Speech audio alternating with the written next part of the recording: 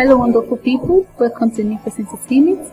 We are glad to have you here again. If you are yet to subscribe to our channel, please kindly do so now and click on the notification button to get notified when a new video is being uploaded.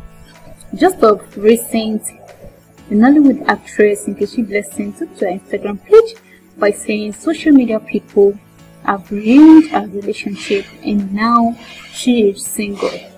The Nollywood actress Nkechi Blessing Sunday have given credit to her haters for ending her relationship with her former longtime boyfriend and alleged fiancé, filmmaker Elijah Tulelope Rotimi alias Originator. She claimed so many people are so keen on not seeing her happy about the relationship. And Nkechi Blessing called out social media trolls and haters who she alleged to be the ones who wrecked a beautiful relationship.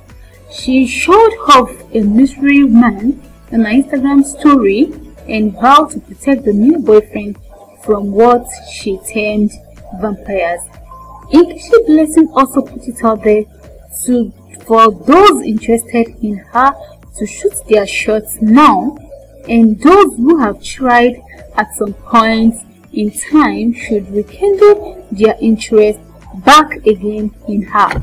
And um, you recall sometimes um, last year, the actress faked an engagement which she later apologized for misleading her fans. This was just what she put out on her Instagram page today and um, some posts she posted on her page. Thank you for watching. Bye.